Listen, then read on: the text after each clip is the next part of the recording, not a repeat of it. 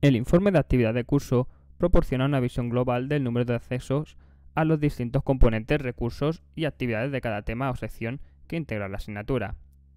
Para acceder a este tipo de informe, debes ir al bloque Ajustes,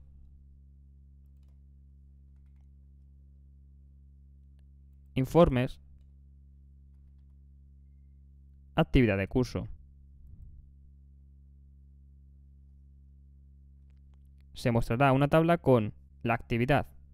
Hace referencia a las actividades o recursos de tu asignatura. Visitas muestra el número de visitas a cada uno de estas actividades o recursos. Entradas de blog relacionadas muestra entradas de blog que pudieran existir relacionadas con estas actividades o recursos.